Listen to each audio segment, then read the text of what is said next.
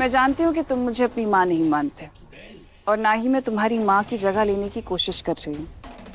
बस ये रस्म पूरा करना चाहती हूँ, उसके लिए तो मत रुको। हुँ?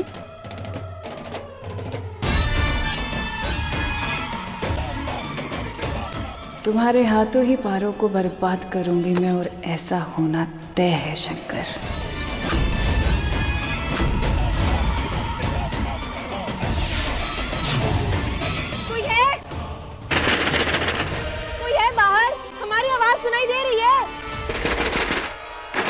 अब ये नागिन पकड़ी जाएगी हीरे के साथ। और इस पर ठप्पा लगेगा चोर का।